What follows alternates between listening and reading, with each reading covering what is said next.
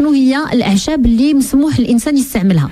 فالأعشاب هنا غادي نقترح واحد الوصفه اللي كيكون اللي تكون الضغط مرتفع ولكن المساعده وضروري أننا نشربوها ونديروا فارق ديال ثلاثة السوايع إلا بغينا نشربوا الدواء. نعم. فكناخذوا فيها اللويزة واللويزة غير منصوح بها عند الناس اللي عندهم الضغط منخفض.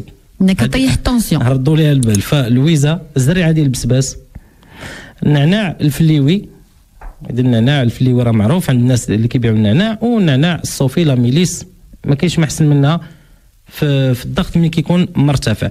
فكناخذوا اللويزه جوج ديال الوراق ونص معلقة صغيرة من الزريعة ديال البسباس نعم.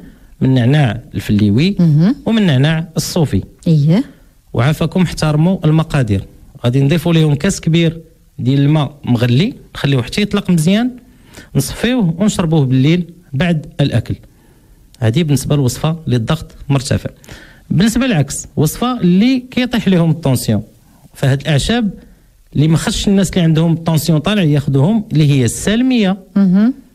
واليازير وعرق سوس نعم. فهادو ثلاثة بهم كيطلعوا الطونسيون اذا السلمية كناخذوا خمسة ديال الوريقات. اليازير كناخذوا معلقة صغيرة.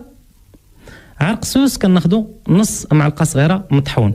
هاد المكونات كنخلطوهم كنزيدوا عليهم كاس صغير ديال الماء مغلي.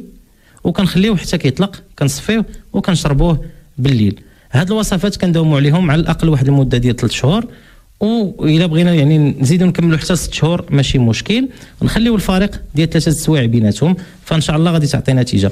إذا عقلوا معانا الناس اللي عندهم الضغط كيطيح يعني التونسيون كطيح ما ياخذوش اللويزة.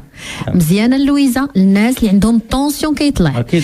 العكس الناس اللي عندهم ال tension كيطيح مزيان ياكلوا أو يستعملوا عرق سوس عرق سوس. لأنه غادي يوازن آه، الضغط الدموي. كنشكرك كثير دكتور عماد على هاد الزوج ديال الوصفات. لا تنسوا الإعجاب بالفيديو والاشتراك في القناة. تشجيعا لنا لنستمر بنشر المزيد إن شاء الله.